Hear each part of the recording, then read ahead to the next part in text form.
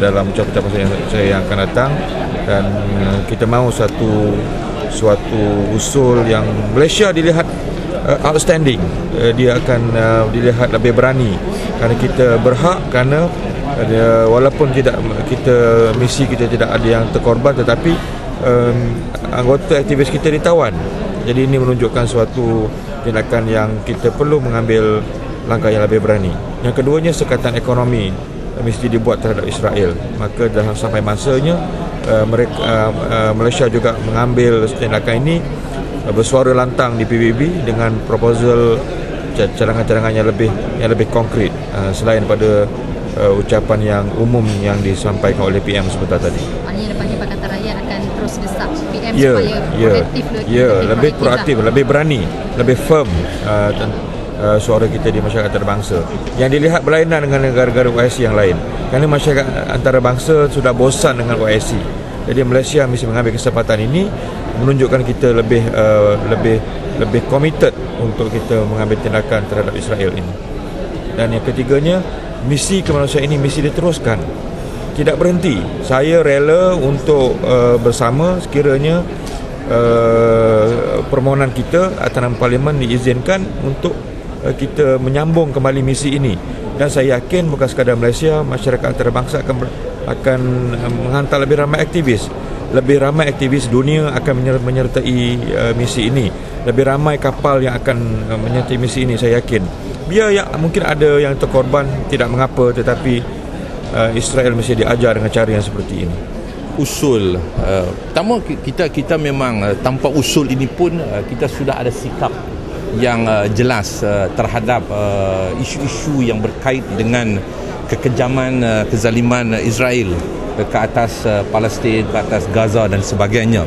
Tapi malang bagi saya bahawa usul hari ini uh, saya hanya melihat bahawa usul ini pertama bersifat mengecam semata-mata. Cadangan-cadangan tindakan itu ialah cadangan untuk orang lain bertindak, bukan untuk Malaysia bertindak. So saya, saya, saya kata bahawa apa ada kepada satu usul yang kita bincang pada hari ini yang boleh menggambarkan si, bukan sekadar stand sikap kita untuk mengecam Malaysia tetapi uh, langkah tindakan yang menunjukkan uh, yang menterjemahkan sikap benci kita kepada Israel. Tak ada. Saya saya saya, saya, saya katakan bahawa antara yang di di di, di uh, sebut bahawa uh, apa nama mengutuk mengecam uh, Israel pertubuhan bangsa bersatu kecewa terhadap lambat PBB dan sebagainya. Saya saya nak nak nak nak, nak cadangkan supaya um, kerajaan Malaysia menterjemahkan kekecewaan dia kepada PBB dengan memanggil balik duta Malaysia kepada di di PBB itu tunjukkan satu sikap kita yang sangat sangat sangat jelas. Kalau boleh kita boleh panggil balik Malaysia boleh panggil balik uh, duta Malaysia di Vienna hanya kerana kononnya satu kesilapan yang dilakukan atas persetujuan mengundi usul yang bertentangan dengan kehendak uh, global, kehendak Amerika dan sebagainya. Kenapa kita tidak boleh panggil balik duta Malaysia di PBB? Usul ini menunjukkan kerajaan kecewa. Kelambatan PBB tidak bertindak, lemah, lembab, malap, So kita hanya nak menyatakan oh kecewa pada PBB, minta PBB buat itu, minta itu dan ini sebagainya. Kita tak buat apa.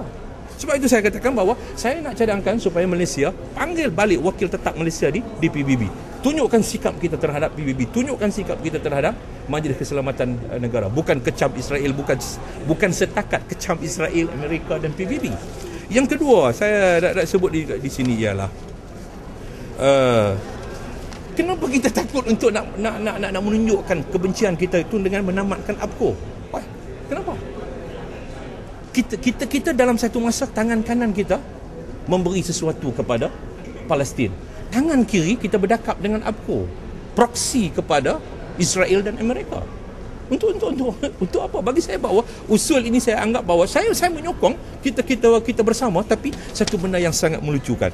Yang kedua saya nak katakan bahawa saya ingat Kementerian Luar yang merangka berbagi poin kepada kerajaan ini tidak membuat satu kajian yang teliti iaitu menggesa Turki untuk mempertimbangkan tindakan di bawah peruntukan Statute Rome uh, Mahkamah Jenayah Antarabangsa Ini menunjukkan bahawa kita tidak buat persiapan. Kita tak tahu kata Turki tak ratify.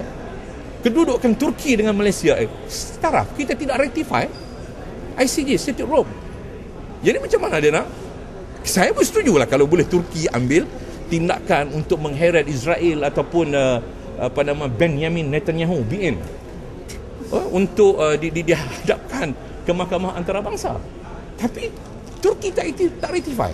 Sama seperti mana Malaysia. Jadi saya kata bahawa dia buat usul ini dia sendiri pun tak cek negara mana yang ratify.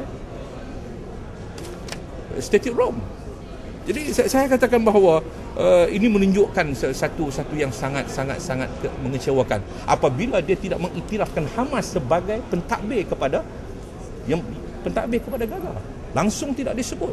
Jadi bagi saya saya katakan bahawa usul ini walaupun kita bersetuju atas dasar nak menunjukkan sikap parlimen pada hari ini tapi kita katakan bahawa atas sebagai kerajaan sepatutnya kita kena lebih praktikal lebih tunjukkan satu sikap yang, yang yang lebih jelas iaitu panggil duta kita di PBB balik tunjukkan satu sikap yang jelas ini yang sepatutnya dilakukan oleh oleh kerajaan. Kalau kecam macam ni, jadi macam Tok Pengulu ni kampung penilalat lah.